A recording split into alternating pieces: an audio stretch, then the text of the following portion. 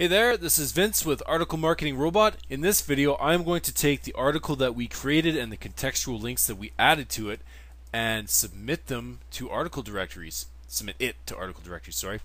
So uh, I'm just going to leave this article and go back to my main screen here. Um, as you can see, we've already got some information. I've got my account made, I've got my article made. Now the next step I need to do is actually submit it. So the first thing you need to do is filter out by just OK and I'll just uncheck the email and none and then refresh the site list and this will give me all the sites that I am already signed up and confirmed to. So now um, what I will do is I'll just select all the sites and I will click submit. Now some people want to do scheduling, some people want to submit to all selected sites. Now in the uh, scheduling, you can submit to however many sites every X amount of hours and start submission however many days from now. Personally, I just submit to all sites now, but other people, you know, sometimes I'm only doing one article for the eh, for these videos, but some people will have like 50 articles at a time, and you know, especially if they have a lot of the articles with the same amount of backlinks or same URL in the backlink back to their website, they might want to stagger the submissions. But one thing to consider is not all sites approve articles at the same time. So over a period of time, you know, you know, it could take a month for some sites to approve an article, whereas others other directories will approve the article within a matter of days or even hours, or some are even um, instant approval. So I'm just going to submit to all selected sites now. I'm going to click OK. And what's going to happen here is it's going to queue up and it's going to be submitting to sites and that's it. That's all that is to it. So from this point forward, I'm just going to let the submission happen and I'm going to stop the video and I'll come back when the video is complete so that I can just do a recap. So I'll see you after the submission.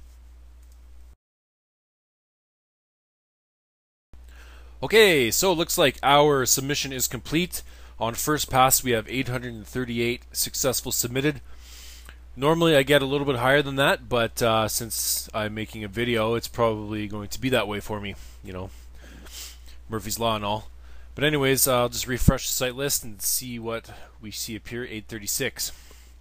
Okay, so what I would do at this point is I would actually um, leave my OK checked and uh, select or deselect yes and then refresh the site list and I would do a second pass.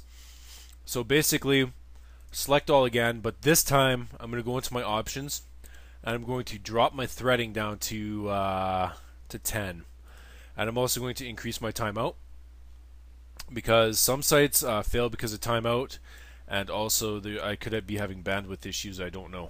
So anyways that's what I'm going to do on the second pass and I'll stop the video and resubmit.